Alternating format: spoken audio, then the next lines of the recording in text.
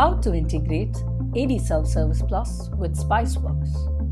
The first step is to activate Password Self Service, for which log into Spiceworks and in the inventory menu, click on Settings and navigate to Manage Engine.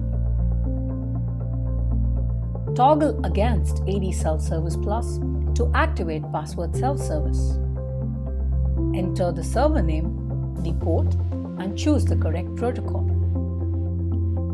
To add reset password and account unlock link to the user, enable user portal and click integrate.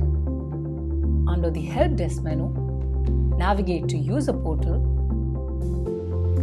and click on design the new portal.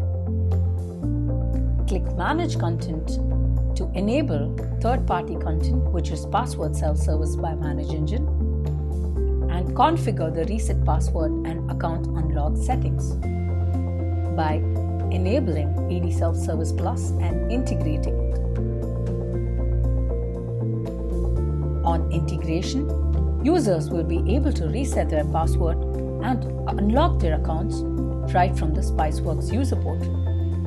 The next time you log in, the user will be able to directly access AD Self Service Plus from the drop down menu you can empower users by providing instant access to easy self service options right from the Spiceworks user portal.